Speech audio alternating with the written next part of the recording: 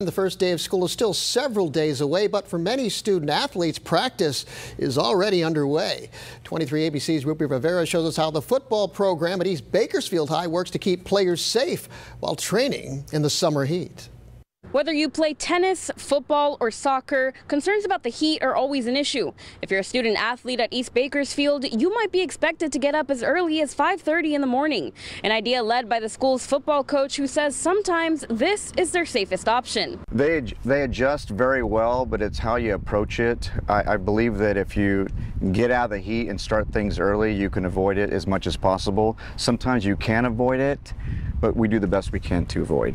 BB Carrasco has been the head football coach at East High for the last three years. However, he's been coaching for 26 years. He says in his time being coach, pushing practice to be done in the morning has been the best solution in ensuring the kids' overall safety. However, he says when school's in session, this isn't always an option. Be here at 5:30 in the morning, then they have to go to school. But you know, so we start right after practice at right after school, and we try to go after school little study hall maybe, little weightlifting afterwards, and then we have to start practice 6 o'clock, 7 o'clock. Sometimes we don't have no choice but to go late at night. 16 year old Alex Newkirk is about to enter his junior year, and he's also on the school's football team. Newkirk says he's gotten used to the early morning routine and appreciates the work Coach Carrasco does for the team. With a good coaching staff and good coaches and everything, they let time in for tons of water breaks, and um, they never they never try to like work us too hard to a point where we start throwing up. They make sure we're we're safe. Newkirk says there have been occasions where rather than practicing earlier, practice is canceled altogether. According to Kern High School District, that decision is based off the daily air quality index. These guidelines are sent out to every school in the district daily in order to better ensure a student's overall health. Mom Lacey Newkirk says she's very appreciative of the coach's efforts, and although the switch schedule may not be ideal for parents, it's about the kids' overall health. Games have been pushed back several hours,